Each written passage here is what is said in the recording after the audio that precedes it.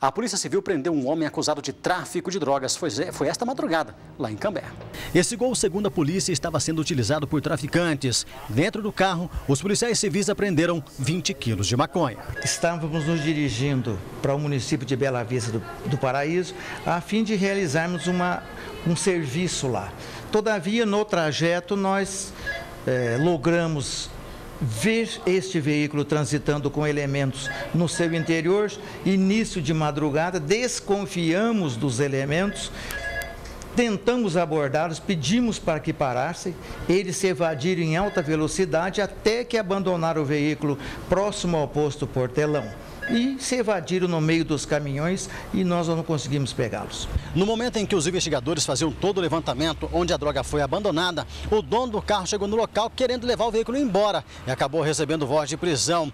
Leandro de Souza dos Santos foi trazido para a delegacia de Cambé e autuado em flagrante pelo crime de tráfico. Enquanto nós estávamos conversando com uma adolescente que foi deixada dentro do veículo pelos marginais. Eles largaram a menina e fugiram, uma adolescente de 15 anos de idade.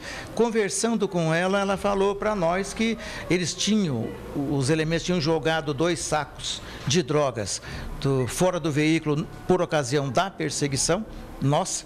E, e para nossa surpresa, e achamos extremamente estranho, que o Leandro se aproximou na madrugada, pleiteando o carro. Esse carro é meu, quero levar ele embora. Quer dizer, foi muito estranho ele chegar naquele momento. Né? Alguém que fugiu, que nós não sabemos ainda quem sejam, falou para ele, vai buscar o carro que ele está abandonado em tal lugar. E ele chegou e nós, por entendermos que ele tem alguma coisa a ver com o crime, com esse com essa droga que foi jogada, nós autuamos ele em flagrante delito pela organização criminosa e também pelo tráfico de drogas. A versão do acusado não convenceu o delegado da cidade. A história do Leandro é descabida, tanto que ele está sendo autuado em flagrante delito.